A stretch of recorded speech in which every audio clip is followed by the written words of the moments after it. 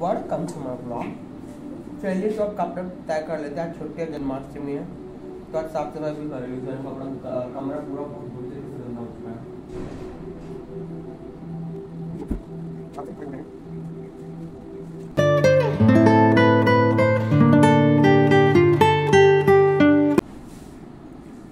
आप जन्माष्टमी में कर क्या रहे हो मेरे पास तो देखो कुछ करने को नहीं है मैंने सोचा कमरा गंदा हो रखा है सब कुछ गंदा है तो मैं यही सब कर लूँ ये मेरा फेस टावल जो मुझे यूज़ करना है इसलिए यहाँ रहेगा ठंडी जाएगा धोने में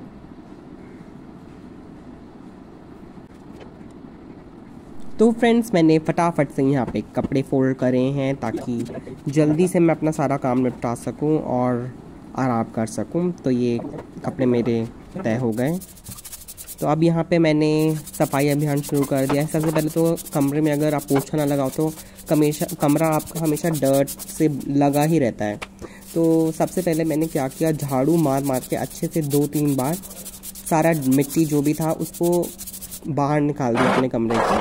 तो आप देखिए कि मैंने किस तरीके से टेबल के अंदर घुस घुस के झाड़ू मारा है और बेड के नीचे मैंने थोड़ा ही करा है क्योंकि वहाँ कुछ करना नहीं होता। ऊपर से मकड़ी के जाल और मिल जाएँगे मुझे। तो सोच के मैंने ज़्यादा अंदर नहीं किया बल, बल्कि थोड़ा जहाँ हम सामान रखते हैं उस एरिया तक मैंने क्लीन किया है। एंड रेस्ट आप देख सकते हैं।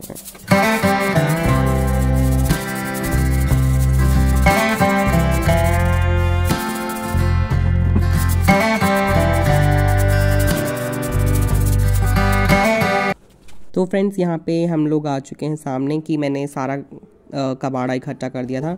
फिर डोर खोल के सारा कबाड़ा बाहर कर दिया। एंड अब बारी आती है टेबल में जैसे आपको रोज़ डस्ट करना चाहिए, तब जाके आपका टेबल क्लीन रहेगा। तो ये हफ़्ते में ये मैं शायद ये मैंने डस्टिंग दो दिन में एक बार कर ही लेता हूँ, या दो से तीन दिन में एक बार। एंड ये मैंने एकदम पूरा पानी से सारे टेबलों को, चार से पाँच जो टेबल हैं, सबको पानी से चमका दिया है, ताकि उसका सारा डर्ट पॉल्यूशन जो भी है वो निकल जाए।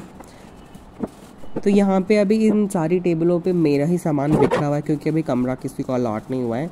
तो ये पूरे कमरे पे भी मेरा ही कब्जा है तो जिस दिन ये कमरा मेरे से छीने का कोई आएगा तो उनको बहुत दुख होगा, क्योंकि मेरा कमरा पूरी तरफ़ से कपड़े बिखरे रहते हैं मेरे आधे, बैग्स मेरे टेबलों पे ही कब्जे रहते हैं, आगे मेरा वाटर वाटर मशीन रहता है। ओ गॉड हर तरफ़ मतलब मेरा ही सामान बिखरा हुआ रहता है। एंड नाउ अब मैंने यहाँ पोछा लगाना शुरू कर दिया, अब देखिए। कैसे एकदम अपने टेबल के नीचे मैंने अच्छे से घुस के करा है। ये मेरे टेबल के नीचे ना एक छोटा सा आपको बाल्टी के आगे छेद दिख रहा होगा। वो छेद पता है किसने किया है? वो छोटा सा चूहा है वहाँ वो रोज़ मुझसे मिलने आता है। झाड़ू पोछा कर करके but now the room is looking clean just have a view सारा सामान भी वापस जैसे फैला हुआ था वैसे फैला कर रख दिया क्योंकि अभी कोई भी नहीं है मेरे कमरे में। जब आएगा तो मेरे को ड्रॉर्स भी खाली करने हैं और ये बैग्स को भी कहीं ठिकाने लगाना पड़ेगा। सारे टेबल चमका दिए मैंने सब क्लीन है। See the floor is also looking good now नहीं तो पहले थोड़ा थोड़ा ना मिट्टी मिट्टी का पार्टिकल्स लगता था बट अब बिल्कुल भी नहीं है, क्योंकि पोछा मार दिया है। Okay I meet you after afterwards अब मैं नहाने जाऊँ